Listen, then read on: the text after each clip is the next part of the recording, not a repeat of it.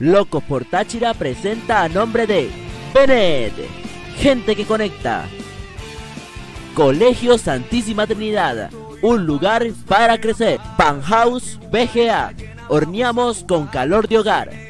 Calcolores. Desarrollamos pinturas de calidad a bajos costos. Nuestro rival, Vibra Aurinegra ronda el lugar. Nos llevaremos esta estrella y todas las demás. El mundo entero cuenta se dará que el mejor fútbol en Pueblo Nuevo está. Aurinegros somos todos. Hey, hey, hoy vamos a triunfar. Al Deportivo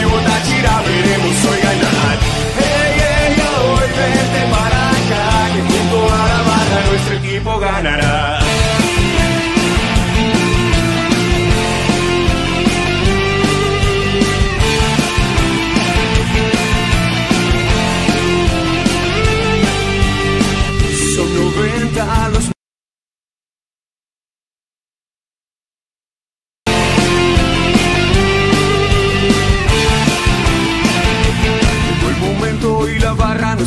Espera más. La tribuna está llena, vamos a jugar. Saludos para todos, amigos de Locos por Táchira Podcast. Muy buenas, bienvenidos a un nuevo episodio del primer podcast dedicado al más grande de Venezuela, Locos por Táchira. Yo sé que nos extrañaron, yo sé que les hicimos falta, teníamos raticos sin subir capítulo, pero nos entenderán ustedes que la ausencia de contenido, la ocupación, el trabajo, el estudio, etcétera, nos ha tenido un poquito llenos en todo lo que ha sido ese trabajo eh, de coberturas, cubrimientos, etcétera, al fútbol nacional e internacional.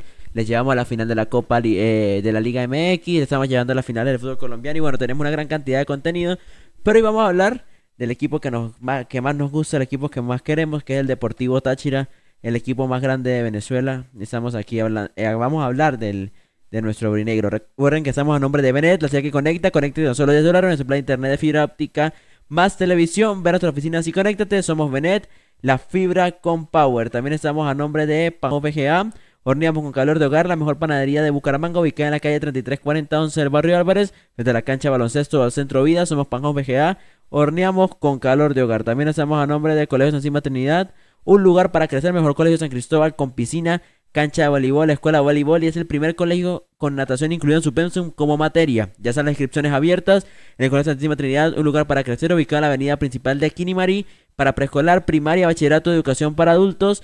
O, eh, comunícate al 0424-763-6301 y al 0424-739-4993. Somos Colegio Santísima Trinidad, un lugar para crecer. Ya estamos aquí. Saludamos a José Daniel Meiser. Muy buenas, bienvenido. Hola José Gabriel, hola a todos los que escuchan el, el podcast. Es lindo volver a hablar del Aurinegro después de tanto tiempo. Ya hacía falta hablar del Deportivo Táchira. Y ya pensar en ese segundo semestre luego de, de los resultados no tan positivos que se vivieron en el inicio de- del año.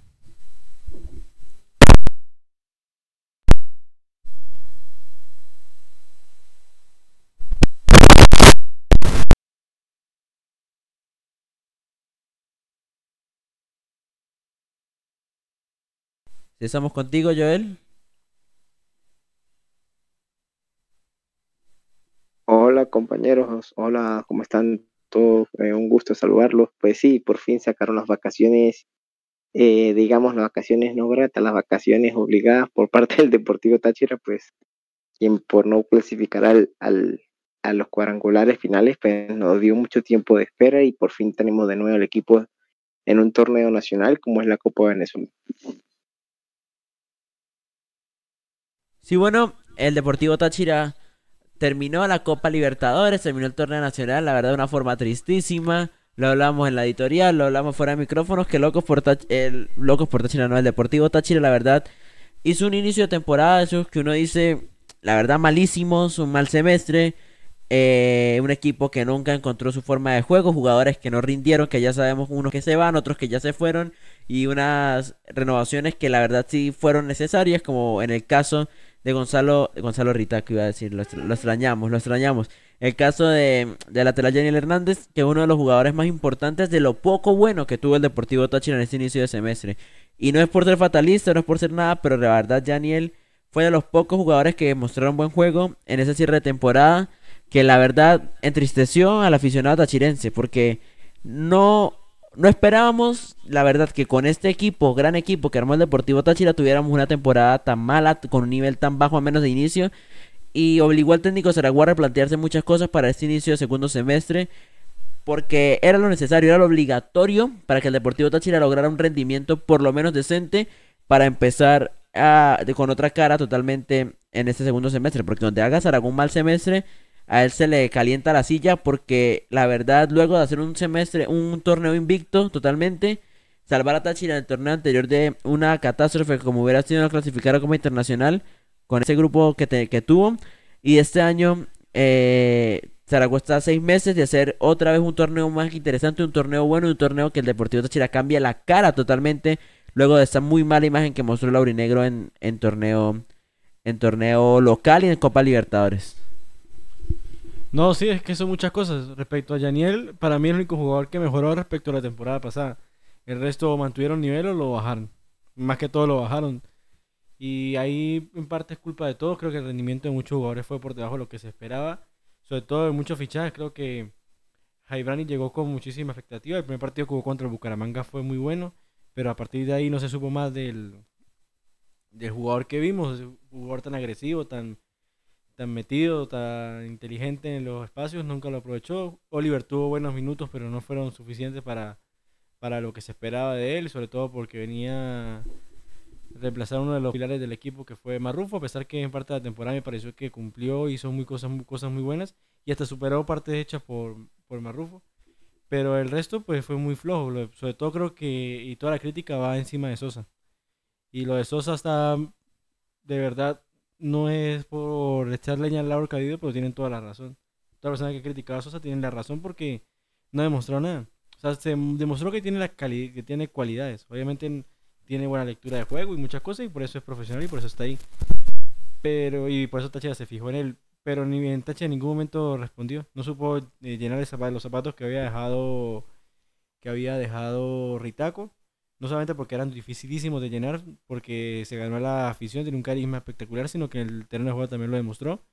Eh, no solamente por los golazos que hacía fuera del área, sino también por cómo se incluía en el juego, cómo se empezaba de banda para meterse por dentro y todo y cómo ocupaba todo ese carril central, que creo que parte de eso y la verticalidad de Esli fue lo que hizo que este Táchira fuese tan plano y tan malo a comparación desde la temporada. El problema que es y segundo, que creo que hubo un error de plantilla de parte de Zaragoza. No contra Corritaco para mí fue un error, porque se quería quedar y cada rato, y creo que tiene como un mes y medio haciendo campaña electoral para que lo van a traer para, para el Deportivo Táchira. Y otra, pues, creo que la salida rápida de Marrufo. Y no sé, creo que la lesión de Fioravanti también fue un agravante bastante fuerte, porque era prácticamente medio equipo. Lo hemos dicho muchas veces eh, aquí en el podcast, lo hemos dicho eh, fuera del área y en muchos lugares, que Fernández está sobrecalificado para la Liga Fútbol. Y tener un de ese calibre hacía que Táchira le resultara todo muchísimo más fácil. Y esa lesión hizo que los planes de Táchira fuesen muy más negativos. Pero ahí no hay que librar de responsabilidad a Zaragoza. Lo de Zaragoza fue pésimo en el tema de Libertadores, gestionó muy mal a Libertadores. En ningún momento se un equipo competitivo, en ningún momento se un equipo que tenía ganas de jugar el torneo. O sea, y no es porque la excusa de siempre, no, es que los otros equipos tienen mucho presupuesto, no, es que los otros equipos tienen mucho tienen mejores preparación, que no, que las ciudades son más bonitas, que son más feas. No, no tiene nada que ver eso.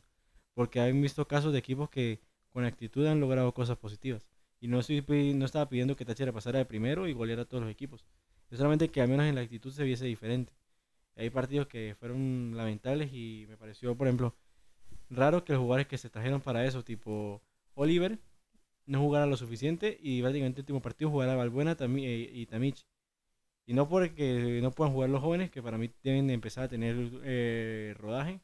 Pero más buena no, eh, Calzadilla y Tamich deben empezar a tener rodaje porque son los que van a hacer el, proyecto de Táchira de aquí en adelante y van a ser los que van a tomar las riendas seguramente más adelante. Pero en vez de contar con lugares que se trajeron para eso, tuvo que tirar de cantera el equipo deportivo Táchira. Eh, y, y Dioma, estuvieron, por lesión, pero estuvieron prácticamente desaparecidos de la Copa y además no se vio ninguna actitud. O sea, me pueden decir temas de, nivel de equipo, pero hay otros casos. Por ejemplo, el equipo de Central Córdoba que dirige Lucas González, igual perdió 3 a 0 contra, contra River. Pero el equipo lo presionó arriba, le jugó, le dio con intensidad y se comió 3 porque es un equipo bastante inferior respecto al, al equipo de, de Buenos Aires, pero igual así mostró que, que tenía la actitud, y al menos la actitud no era negociable. Y me pareció muy malo Zaragoza, creo que tiene una autocrítica, y aquí se tiene que ver de qué está hecho el técnico. Si fue una temporada buena y ya, si es capaz de revertir las épocas negativas, y si es capaz de mostrar esa buena cara o, transformar el equipo a algo mejor. Yo creo que seguramente en esta temporada veamos cambios de alineaciones, veamos tras eh, varios partidos regresar a la línea de cuatro. Aunque no creo que, una parte me dice que sí, porque ya se ve un poquito de desgaste con ese esquema, sobre todo por no tener gente tan vertical por, y, o que se meta como Ritaco en, el, en esta temporada. Pero otra parte me dice que seguramente lo mantenga por el tema de la entrada de Jesús Quintero, que creo que si es bien trabajado y tiene la mentalidad suficiente, puede ser muy bueno para el equipo. Joel, ¿cómo, ¿cómo vivió, cómo sintió este primer semestre de Copa Libertadores, de, de Copa Libertadores y de Torneo Nacional? Para mí fatídico. ¿Cómo lo vio Joel? No, pues no, consigo un argumento que supere el suyo, pero bien vendría en la ocasión. Sin embargo, pues yo creo que ya estamos en el momento de dar un paso hacia adelante y, como bien decía José Daniel, para mí Daniel Hernández fue el mejor jugador del torneo. Eh, solo lo mataron por 45 minutos en UCD porque ni siquiera jugó contra UCD todo el partido, sino más nada un primer tiempo. El único primer tiempo lo que tuvo. Del resto, para mí fue el mejor del, del, del primer semestre, fue Yanely Hernández, y por eso me parece una grata noticia que lo renovaran. Yo creo que estamos en un punto de que, que contar con los jugadores que hicieron las cosas bien, porque por ejemplo la otra buena noticia, pero pareció un poco tarde, fue Camargo. Para mi sorpresa, el tipo nos mostró que, que ante el mal mo- momento de Araque aprovechó su oportunidad. Si bien es cierto, pues estuvo en los partidos erráticos, partidos del equipo, pues fue, siempre estuvo dando buen nivel. Y el otro consideraría, pues, es Pipo Vías y por algo está en selección. Sin embargo, para mí Pipo Vías, con, comparado con el de la recta final, pues bajó un poco el nivel, pero algo mínimo, pues. Pero obvio, si el equipo estaba mal, pues él, hasta él se iba a contagiar, ¿no? Del resto, pues esperemos que todos los jugadores que, que digamos que vuelvan a retomar el nivel que los llevó a ese campeonato, los viejos, y los nuevos que demuestren por qué los trajeron. En especial, pues, Sayomo, Jesús Hernández, que para mí, o sea, en, da- en el dado caso de Sayomo, pues las lesiones no lo dejaron, pero para mí ellas tienen algo que más mostrar. Y con Sosa, pues, es como cuando uno, cuando, cuando uno le gusta una chica y pues mejor no ilusionarse para no sentirse mal después, ¿no? Y me parece que el dado caso de Sosa ni lo va a mencionar, ni nada. Ya por ahí dijeron que él se siente muy presionado y todo lo demás, entonces pues esperemos que yo en mi caso no voy a opinar más sobre él, eh, porque probablemente no sea positivo lo que yo lo que yo opine, así que prefiero dejarlo a un margen y, no esperar nada. Que peor que lo peor, peor de lo que lo hizo no, no lo va a volver a hacer. Así que al menos esa esperanza, ¿no? Y yo creo que, que, que esto sirve de reflexión. Por suerte tenemos, o sea, va a ser una liga más competitiva porque si nosotros estamos mal, ni, ni le cuento Academia, Conchita y esa nómina, o eh, propiamente Caracas, o sea, tenemos, hay varios equipos obligados a hacer un mejor papel en el torneo clausura. Y como nosotros hablamos del Deportivo Táchira, pues el buen papel significa, porque no siempre todos los años se pueden ganar, pero por lo menos de- no puedes quedar fuera de, un de un, unos cuadrangulares donde clasifican 8 de 14, ¿no? Entonces, ya por ahí. Y, y segundo, pues que el equipo muestre una mejor cara, una mejor, versión futbolística. Porque si pierde un partido en el minuto 90 por un, auto- un gol de tiro esquina, pues bueno, eso es, fu- eso es fútbol. Pero la regularidad tienes que demostrarla todo el torneo. Y Táchira lamentablemente ese torneo no nos hizo y por eso nos mandó de vacaciones tan temprano. Sí, parafraseando las palabras de Zambrano sobre Carlitos Sosa, le quedó grande. Le quedó grande la camisa de Táchira. Porque si le gana la presión en un equipo donde la presión es fuerte y si le gana la presión como futbolista profesional, le quedó grande la camisa del Deportivo Táchira. Y ojo que eso es fuerte decirlo, pero es la verdad, in- increíblemente con un jugador que la verdad yo le tenía fe. El torneo terminó ganando eh, Carabobo, otro fracaso de San Vicente, porque San Vicente ni a la final llegó, no compitió en este G4. Y llegó Carabobo a la final contra Metro, campeón Carabobo, ya no tenemos eh, un virgen, totalmente virgen de copas, de estrellas sí, de copas no. Por fin abrió el armario Carabobo de, la, de, la, de los trofeos. Entonces, pues nada, fue un torneo inusual porque no estuvo los equipos grandes participando en la parte final. Pero eso pasa cuando los equipos están en crisis, los equipos grandes. Y, y es bueno que los equipos que no han tenido oportunidad aprovechen de esto para, para salir victoriosos, ¿no? El Deportivo Táchira anunció, como lo decía Joel y José Daniel, la renovación de Yaniel y la salida de Andrés Murillo, un, central que se sabía que no iba a seguir. Ahora, la renovación de Yaniel, yo se lo decía a mi hermano, a José Daniel. La autopista, por favor. yo le decía a José Daniel, la autopista Murillo. Yo le decía a José Daniel que es importante la renovación de Yaniel. Yo antes de traer un jugador hubiese, hubiese renovado a Yaniel. Era el más importante. ¿Por qué? Porque Yaniel fue un jugador con rendimiento interesante y fue el mejor rendimiento del primer semestre. Jugador que rindió bien el final del semestre pasado. Que rindió bien este, este primer semestre en un equipo donde nadie rindió bien, solo él. Es un jugador que tiene con qué. Quien le interesó Nacional de Uruguay, sí le interesó, pero priorizó el Deportivo Táchira al parecer, o las negociaciones con Nacional no llegaron a buen término.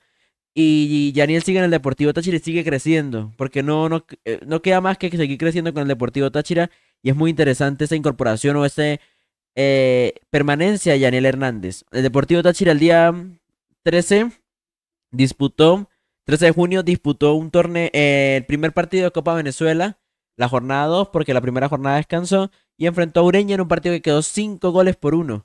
Un partido, lo decía José Daniel fuera de micrófonos, de, pretemporada prácticamente, porque el Deportivo Táchira tenía una semana, eh, varias semanas sin jugar. Eh, infortunadamente Ureña no demostró un nivel competitivo como para al menos hacer algo. Y la verdad fue un partido de esos que uno dice, hombre, analizarlo queda difícil porque no, no se encuentra por, por dónde analizar. Un partido pretemporada, Táchira se encontró con el gol y es lo interesante de ese partido y una Copa Venezuela que regresó y está regresando de buena forma. Se han visto buenos partidos y eso también es interesante, ¿no? Disfrutar de los enfrentamientos entre equipos de primera y segunda. Yo creo que eso es lo bonito. Táchira enfrentará a Real, Frontera y Ureña. Y nada, de esperar que disfrutar estos, estos, esos partidos, esos torneos que, de ese torneo que va a disfrutar el Deportivo Táchira.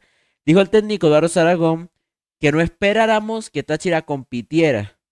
Lo dijo en rueda de prensa porque está haciendo pretemporada a la par de los partidos. Y ahí sí se la valgo, porque dijo que terminó el partido y el equipo de una vez empezó a entrenar. Mañana tiene doble turno, es un equipo que va a estar, reventado físicamente, va a estar reventado físicamente cierto tramo de la Copa Venezuela y es entendible eh, que no que no quiera ponerle presión en la Copa Venezuela porque además hay una regla sub-23 que Joel nos va a comentar un análisis de por qué la regla Em, falla o hace que, que, el, show falte también o que los equipos compitan, Joel?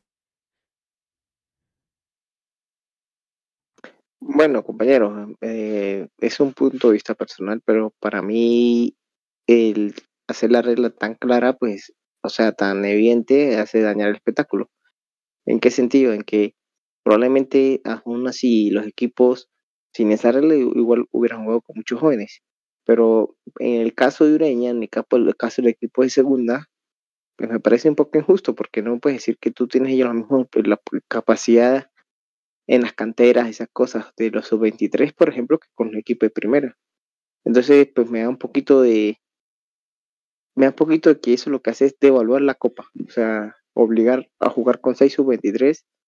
Oye, déjale uno o dos como hacíamos en otro hora en los, torneos, un sub 20, un sub 23. Igual los equipos te van a colocar, o sea, si que es por el desarrollo, igual los equipos lo van a colocar. Pero ya de una forma tan tan seca, tan no, tiene que ser 6 sub 23 y, y terminar 3 en cancha, o sea, no, no, no me parece que sea una norma en pro del espectáculo de la copa, que para mí debería enfocarse eso, porque la copa pues debería tener por ejemplo, un atractivo, un, un, algo para el fanático. Entonces, literalmente nos fuimos a ver un partido de pretemporada y no un, un, torneo oficial. Y yo no, por ejemplo, que la Copa del Rey, la, la Copa Argentina, eh, la Copa de Brasil tenga normas de sub-23, 6, 6 sub-23.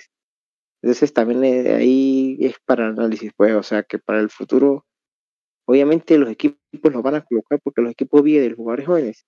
No tienes que colocar una regla tan evidente y hacer eso. Y en dado caso que, que si quieres colocar, pues bueno, coloca uno, pero seis. Es por eso que mi, desde, mi, desde mi apreciación no es, no es bueno para el espectáculo una regla tan, tan marcada como de seis jugadores sub-23, porque se vuelve casi que un torneo como el, el olímpico, que se juegan seis sub-23 y tres mayores de edad. Sí, para eso, para eso se hubiera hecho un torneo de reservas, prácticamente lo mismo.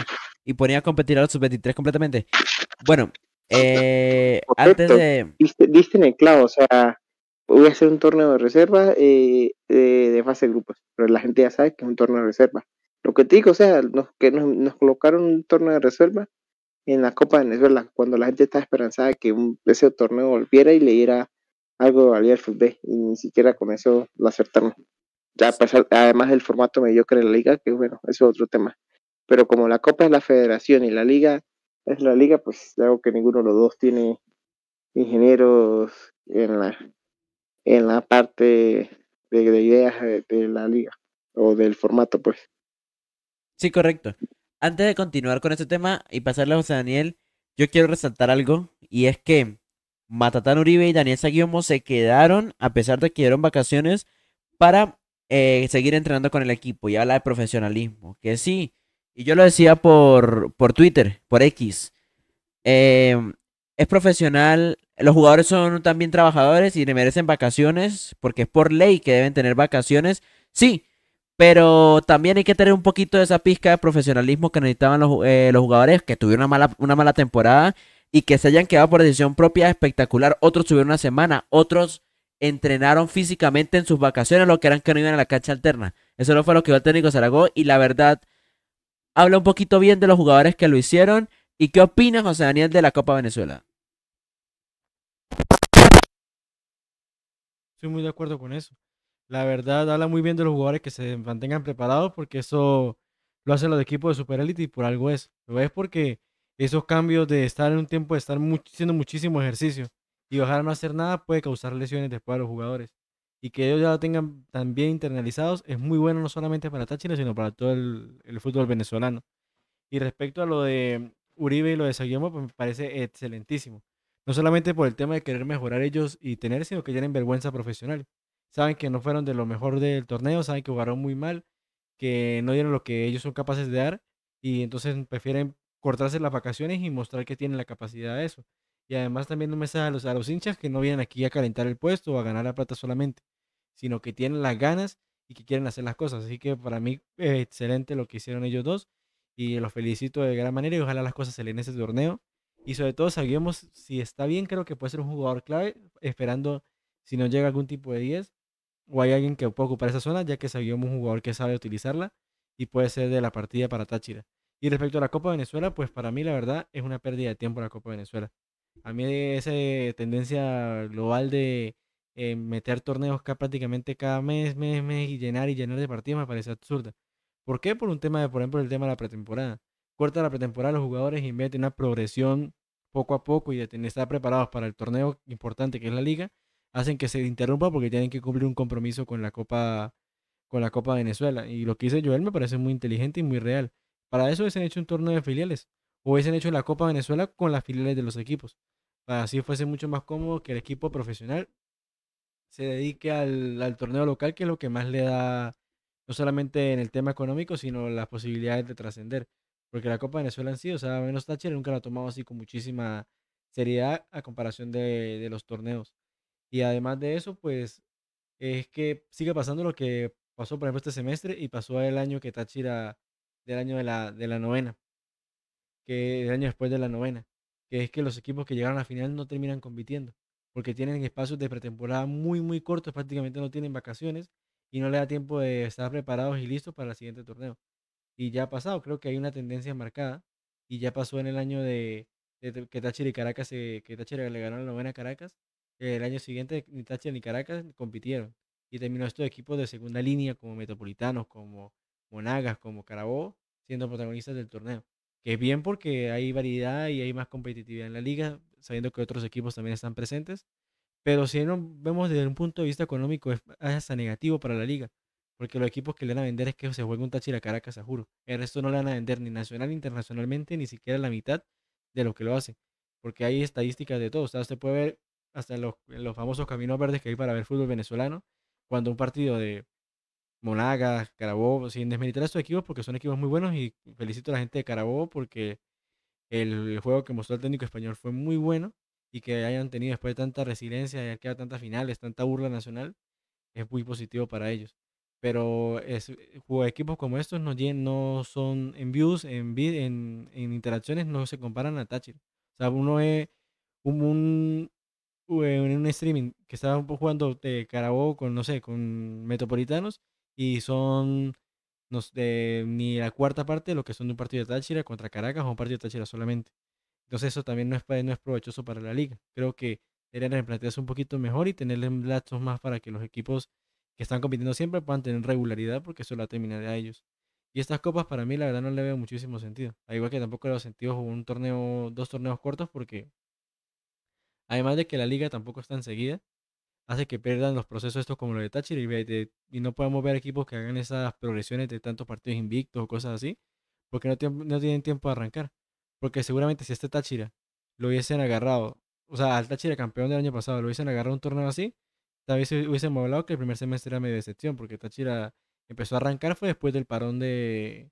O sea, con los últimos partidos antes del parón y después del parón fue que empezó a de gran forma a mostrar nivel, que fue ese partido contra la Guaira, que jugó perfecto prácticamente. Sí, bueno, esperamos que el Deportivo Táchira termine por lo menos la Copa Venezuela bien, anuncia incorporaciones. Silva dijo que había información, pero lo ha subido tarde, entonces seguramente mañana. Y estén pendientes de las redes porque vamos a estar retuiteando, subiendo información de lo que esté pasando eh, con la con la Copa, con la Copa, con la Copa Venezuela, sí, con el Deportivo Táchira. Se viene la Copa América, el torneo más antiguo de selecciones. Y pues se viene el desde el 20 de junio con el partido Argentina-Canadá. Disfrute la emoción de la Copa América con Fútbol XT, LXT y Zona Uriverde. Así que prepárense, disfruten porque se viene el torneo de selecciones más importante y más antiguo. Y la verdad, eh, estamos dispuestos a darle la información em, a todos ustedes. La Copa América, esos torneos que uno, que uno espera cada cuatro años primero, porque va a haber su selección. En el caso de la selección venezolana, casi no se ve en, torneos internacionales, solo eliminatorias y Copas América y eso es lo bonito de uno disfrutar su torneo. Y de paso, un torneo que año tras año se va disfrutando, o sea, cada torneo y cada vez va mostrando mejor nivel. Eh, la Copa la Copa América. Nosotros le vamos a, llevar las incidencias de Venezuela, de Colombia y de México. Y los partidos relevantes como la inauguración, como cruces que se den interesantes en, cuartos de final en adelante, la gran final, así no estén estos equipos, partido por el tercer puesto. Eh, le vamos a llevar incidencias, vamos a hacer capítulos de zona mixta exclusivos de la Copa América, capítulos hablando solamente de México, capítulos hablando solamente de Venezuela, capítulos solamente hablando de, de Colombia, previas. Bueno, vamos a tener mejor contenido. Síganos en TikTok. Ahora tenemos TikTok como arroba LXT para que disfruten todo nuestro contenido. LXT, Fútbol LXT, para que disfruten todo nuestro contenido. Yo, el Zambrano, ¿Qué espera de la Copa América? ¿Qué espera? ¿Qué, cómo, qué espera como, cómo se desarrolla el torneo, mejor dicho? ¿Cómo espera que se desarrolle el torneo? Joel Zambrano, revelación, ¿cómo va a ser la decepción? ¿Cuál ve el mejor jugador? Eh, ¿Cómo ve cómo se prepara para la Copa América, Joel? Bueno, compañeros, tengo que decir que a mí me gusta mucho el torneo, eh, un torneo de cuatro grupos donde solo pasen dos, porque no hay especulación para el mejor tercero, a veces el tercero se mete de rebote, entonces la diferencia de goles, entonces van a jugar a matarse porque solo pasan dos. Eso por, por, el primer lado, me hace recordar las antiguas Eurocopas que cuando el formato era 16 equipos, también solo pasaban dos, no es como la Eurocopa de ahora que tiene, tiene tres. Pues no, bueno, en el primer tiempo veo a Argentina y a Chile pasando en la fase, en, en la en la fase de grupos. En el segundo tiempo en el segundo grupo, pues veo a Venezuela y tengo duda entre Ecuador y México. O sea, si fuera un mundial diría que Ecuador, pero como Ecuador en Copa América, no sé quién se transforme y no, no le va bien, pues no sé, México, México pues tampoco en América es que haga mucho, ¿no? Bueno, dejar a Ecuador. Y el, el, tercer, el, el, grupo C veo Uruguay y Estados Unidos para mí Uruguay es la gran candidata. Ya les digo por qué. Y en el grupo D, pues veo a Colombia y a Brasil. ¿Por qué veo a Uruguay sobre Colombia? Porque creo que el tema de Colombia va más allá que en el momento de, de dar el gran salto con las generaciones que ha tenido, no lo da. Pasó en el 2014, no dio el golpe sobre la Messi, no sacó a Brasil. En los 90 con esos equipazos tampoco avanzaba. Entonces me parece que Colombia siempre ha, quedado en deuda.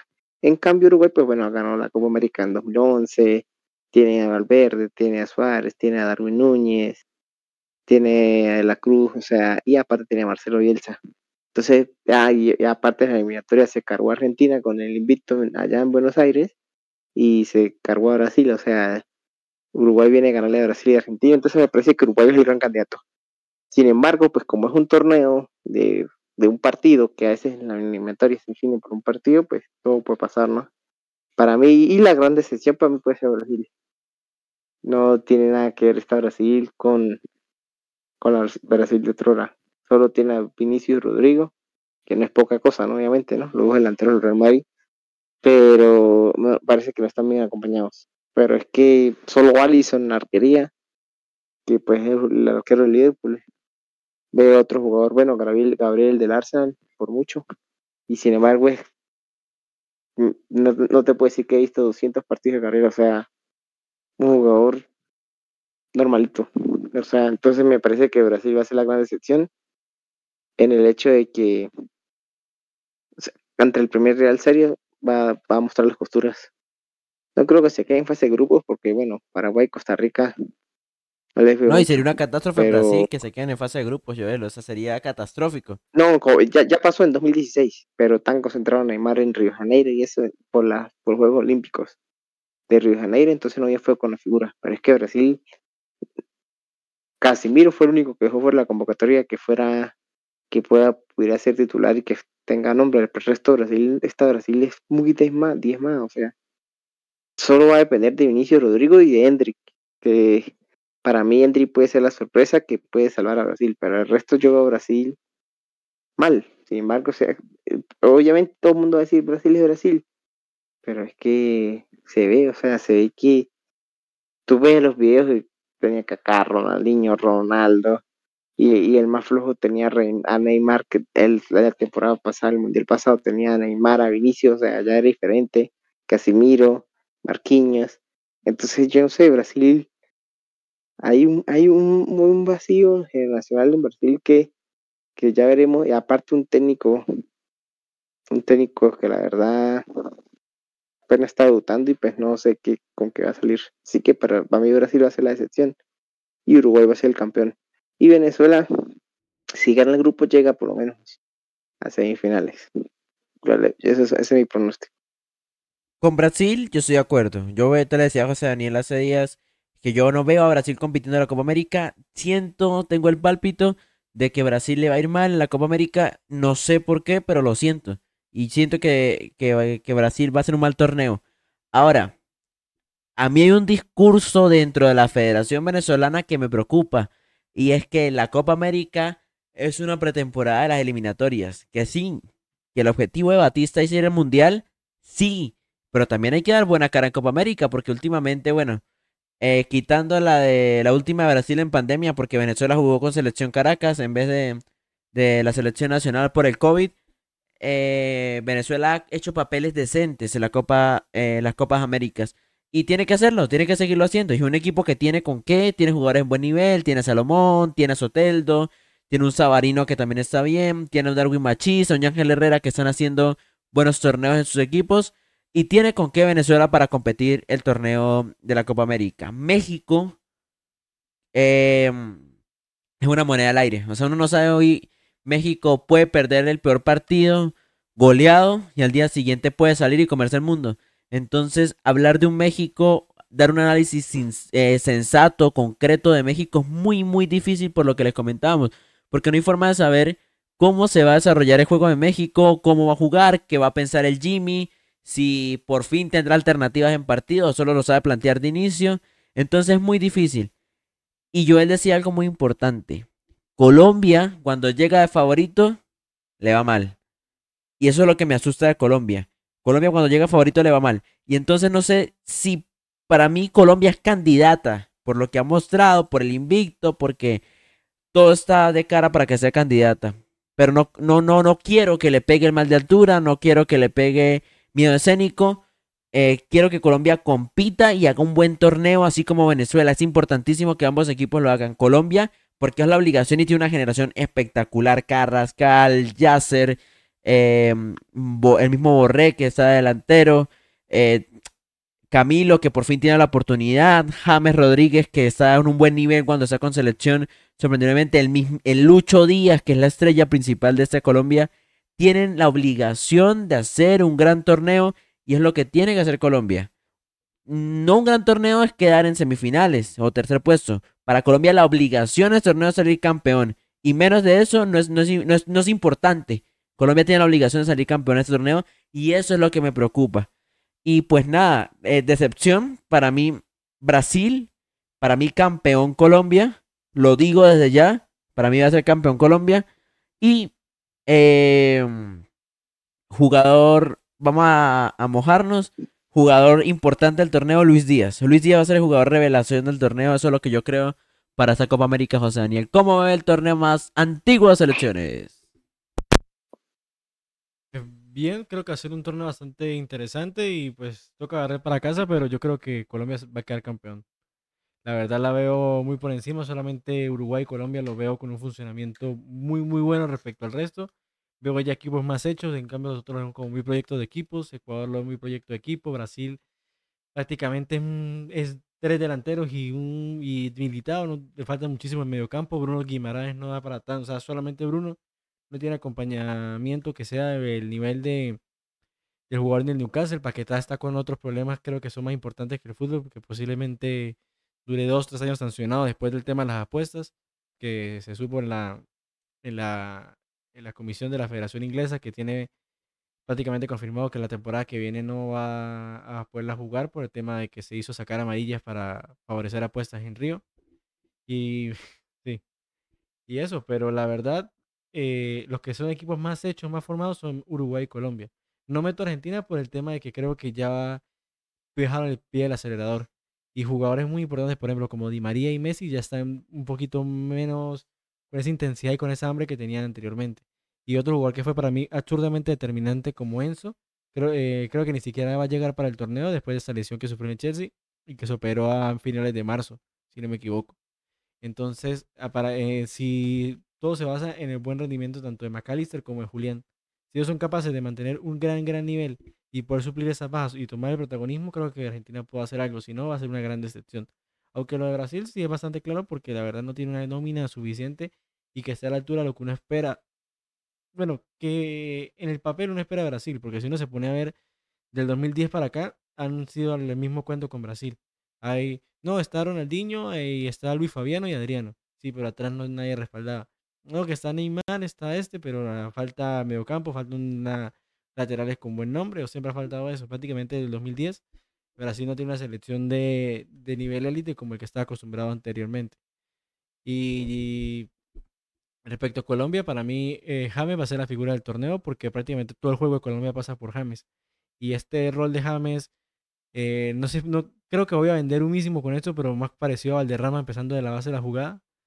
Le ha venido muy bien a Lorenzo y creo que ese funcionamiento va a hacer que James sea de las figuras del torneo a pesar de que la parte de los reflectores y los goles se lo lleve Luis Díaz porque es el que está más cercano al área. Pero es que lo veo muy bien conmigo. O sea, veo tanto a Colombia como a Uruguay con nivel muy, muy alto. Veo equipos de verdad. Porque los demás veo muchos proyectos, veo cosas a medias, veo como casos como los de México, que, que es prácticamente un equipo con la mandíbula de cristal, que puede hacer un partidazo, pero le dan un batacazo y hasta ahí llega. O, puede tener un mal partido, un mal primer partido y ahí se cae y no vuelve por toda la presión que tiene alrededor. Entonces, para mí veo a Colombia como favorito, Uruguay también lo veo muy bien y como revelación veo a Canadá, porque a pesar, a pesar de que perdió los partidos amistosos que jugó, la verdad vi una selección muy hecha, muy compacta, muy fuerte y que sabe lo que quiere jugar. Además, el arquero, que ahorita se me olvida el nombre, los dos arqueros, pero el que jugó contra Países Bajos, me gustó muchísimo el rendimiento de ese arquero. Es un arquero de nivel muy, muy élite y seguramente en unos años esté jugando en un grande Europa porque tiene muy, muy buen nivel. Y respecto al grupo de Venezuela es una moneda al aire. Para mí, los cuatro pueden ser candidatos. Ecuador, por nombre, debería ser el primero en pasar, pero no hemos visto, al menos en eliminatoria, un Ecuador que esté, eh, respe- o sea, que represente los nombres que tiene, tanto como Pervis, como Kendry Páez, como Moisés, no han hecho el, torneo, en- al menos con la, en la eliminatoria sudamericana, que uno, espera del equipo ecuatoriano por lo que se ha hecho y por lo que ha hecho Independiente del Valle también a nivel, a nivel de clubes. El caso de Jamaica, pues un equipo no tiene nada que perder y un equipo que puede ser absurdamente peligroso, sobre todo para, para selecciones como Venezuela. Que vea que el equipo está muy echado, que Jamaica está muy echado atrás, empieza a adelantar las líneas y jugadores tan rápidos como de Córdoba Ritz o Mijail Antonio le ganan la espalda a, a centrales como Wilker Ángel o como Chancellor o como Jordan, que creo que son lo opuesto a la velocidad y estos jugadores van a 2000 por hora.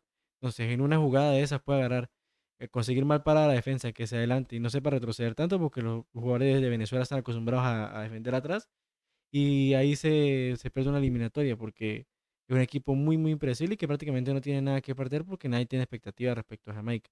Respecto a Venezuela, me preocupa ese tema de que lo quieren tomar como una pretemporada. Me gustaría que compitiera y mostrara los calibres que tiene y mostrara si está hecha para las cosas fuertes del, del cuadro internacional y mostrar si, si está lista para competir no solamente a nivel sudamericano, sino para competir en el caso de que pueda clasificar el mundial. Me gustaría que mostrara más calibre y creo que tiene los jugadores porque se- Soteldo ha tenido minutos, Salomón está jugando muy bien. Eh, Machís viene también, a pesar de que su equipo descendió bien, hizo una buena temporada. Yangel creo que está en el mejor momento de su carrera. Eh, Romo está jugando muy bien. Contreras para mí debería estar tomado en cuenta. Entonces debería estar jugando de titular. Pero ese, ese, ese grupo es muy, muy peligroso. Ese grupo está buenísimo para las apuestas. Porque prácticamente cualquiera puede meterse. Y está en eso. Está en saber aprovechar esas mínimas oportunidades que tiene y esos detalles que a Venezuela, por ejemplo, le han faltado tanto en el transcurso de su historia. Sí, en la historia, pero con el Bocha no. Y eso es lo que quizás pueda llenar de esperanza. Pero a mí ese discursito, insisto, de que es una pretemporada eliminatoria no me gusta, no me gusta y no me gusta. Recuerden, desde el 20 de junio, la pasión de la Copa América se vive en Fútbol XT, el Locos por Táchira y Zona Uriverde. Vamos a llevar todos los partidos que podamos. Ya le hablamos de qué selecciones vamos a cubrir principalmente. Y esperen Locos por Táchira Podcast hablando de esto. Zona Mixta hablando de los partidos en general y de los grupos. Y pues en Zona Uriverde hablando exclusivamente de Colombia, Locos por Táchira exclusivamente de Venezuela. El Atlético Bucaramanga va a jugar la gran final del fútbol colombiano. Usted la va a vivir por Fútbol XT y Zona Uriverde, nuestro canal de YouTube de Locos por Táchira. Así que active, noti- active notificaciones. Vaya de una vez a la parte donde dice en directo, rapidito, rapidito, rapidito. Activa notificaciones ahí, de paso se suscribe, active la campanita para que no se pierda de nuestro contenido y de esta gran final de fútbol colombiano. Dudamel llenó de ilusión a la ciudad bonita y la ciudad bonita espera hacer una fiesta. En caso de salir campeones, de ganar la primera estrella de Leopardo, reaccionaremos al recibimiento que se hará en el Estadio Departamental Alfonso López, aquí en la calle 14 de Bucaramanga. Bueno, no sé si quieren agregar algo más para cerrar. Yo creo que está muy completo. Recuerden que estamos a nombre de Veredas, ya que conecta, conecta no solo dólar, nuestro plan internet fibra óptica más televisión, ven a otras oficinas y conéctate. Somos Venet, la fibra con power. También estamos a nombre de Panjo VGA Hornemos, calor de hogar. La mejor panadería de Bucaramanga, ubicada en la calle 334011 del barrio Álvaro, frente a la cancha de baloncesto de Centro Vida. Somos Panjo VGA, horneamos un calor de hogar. Primer aniversario. Muchas gracias por seguir acompañándonos. Somos Panhouse, hornamos con calor de hogar. Y estamos también a nombre de de Maternidad, un lugar para crecer. Nuevo Colegio San Cristóbal con piscina, cancha de voleibol y natación incluida en su pensum. Eh, ya están las inscripciones abiertas para preescolar primaria, bachillerato, educación para adultos. Somos Colegio de Maternidad, un lugar para crecer. Joel, José Daniel, muchísimas gracias. Nos vemos en la próxima entrega de Locos por Táchira Podcast. Agradecidos por una vez más por ustedes acompañarnos el día de hoy. Y bueno, disfruten, disfrutemos de esa Copa América, pendientes de las redes para lo que se venga con el Deportivo Táchira y con toda la información de la Copa América en Fútbol XT, Zona Uriverde y Locos por Táchira. Chao, chao, los queremos mucho. Feliz día, feliz tarde, feliz noche para todos. Arriba las banderas, Deportivo Táchira es Venezuela, son 90 los.